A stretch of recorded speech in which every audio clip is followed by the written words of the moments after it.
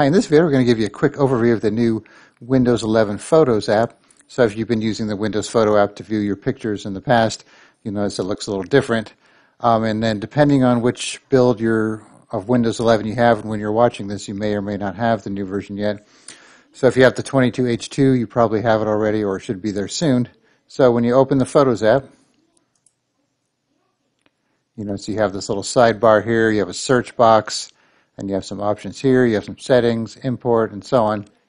So by default, it'll load your picture from your uh, pictures folder.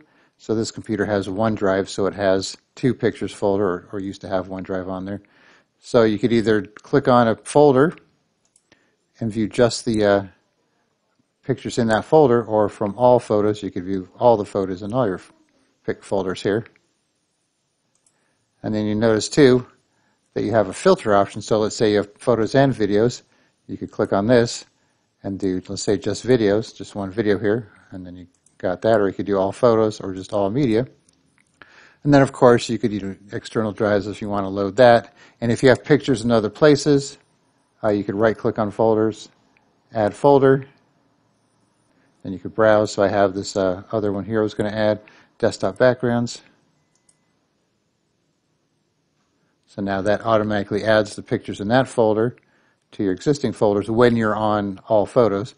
And then if you're logged into your OneDrive, you could have it uh, view those photos as well. And then you could add pictures to favorites if you want to do that. And if you want more room, you could shrink this down like that. So I'm recording at a low resolution here, so uh, that's why everything looks kind of large. Then you have your sort options here. By date taken, recently added, date modified, name, ascending, descending.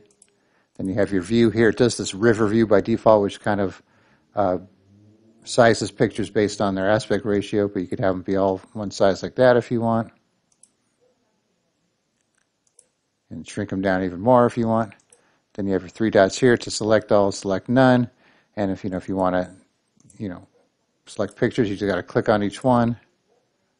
And then you could also right click on them, open print, copy, copies path, share, rename, open in File Explorer, view in the folders folder. So if we have just one, let's say, view in the folders folder, photos folder, then that'll view everything in that photos folder for cars. And let's say, let's go back, open in File Explorer, then that'll open your actual File Explorer folder for that particular picture. And then you got your search in here too. Let's do a dog. I don't know if this will find anything. Okay, so found dog based on the file name most likely. And then for your settings, you customize the theme if you don't want the uh, dark theme. You could do light, uh, show gallery tile attributes, ask for permission for deleting, turn on or off OneDrive, mouse wheel for scrolling, privacy. And if you want to open the legacy photos,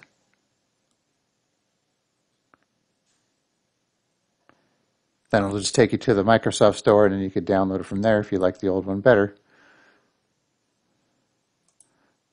So it's not too bad, you know, it's not a whole lot different, but there's some additional features and settings you could do to configure it. The search option is nice and so on.